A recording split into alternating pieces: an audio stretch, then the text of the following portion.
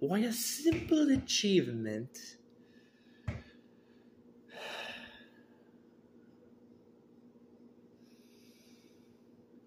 bent neck, right?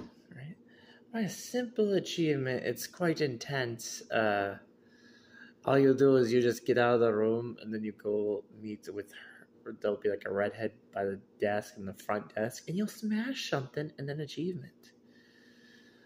And then you get to think about smashing, right? Right. Not think about, you know, up here how that looks like big belly, right? Okay. Or how what that looks like. Oh, it's a train, right? Oh, it's a train. It's a train. Isn't that creative? Gosh, that is creative. Creative, right? Hmm. No, oh my gosh, and like notice